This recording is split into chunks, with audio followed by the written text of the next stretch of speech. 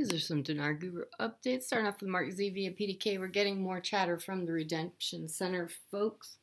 They were told to fully expect to work this weekend. We're still hearing fantastic chatter from Reno. They have big expectations, but they are not given a time. They're being told that we are close and they need to stay in place. Most of them are very happy. To me, that means something is going on to keep them uh, very content question. So is this our week uh, answer? There is a great ch chance based on the banking side. Of course, my DC Beltway contacts are saying it will be somewhere between December 12th and 15th. My bank folks, though, are convinced we will all be going before that.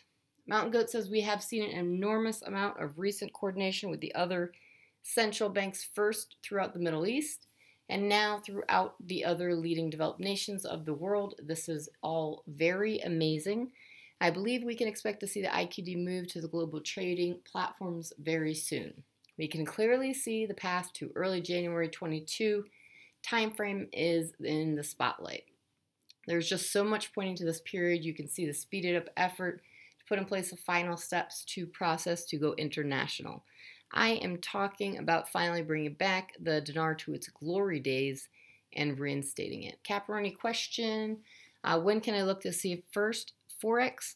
Answer is there's no RV. This is not a lottery ticket. If and when the dinar ever goes up in value, it will go up gradually over time as the economy grows. A country's currency is not a lottery ticket. It's not managed by fools, or its value is not random. There is no RV. Only with the success of Iraq's economy can the dinar go up in value. Mark Z via PDK. Question Been waiting for eight years, afraid this is a scam. The answer is this is not a scam, referring specifically to the Iraqi dinar. Remember, Warren Buffett bought and said, quote, this is going to be a great long-term investment, unquote. When Trump was pre president, he said at one time that he had 41 uh, trillion Iraqi dinar in the US Treasury, or about 35 billion US dollars worth of dinar in the US Treasury. If it was a scam, they would not be holding it. Also, Trump had years ago invested about 34 million of his own money into the Iraqi dinar. All right, and lastly from Frank26, Iraq Boots on the Ground Fire uh, TV update. They said now is for Iraq to be on stage of international acceptance of their country's currency and saying it will be a leader not only the Arab region but global.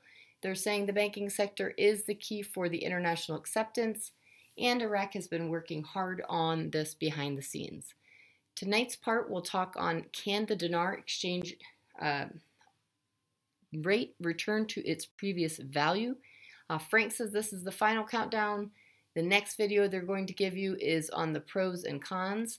I will probably show you the new small category notes as they talk to you why they have to change the exchange rate.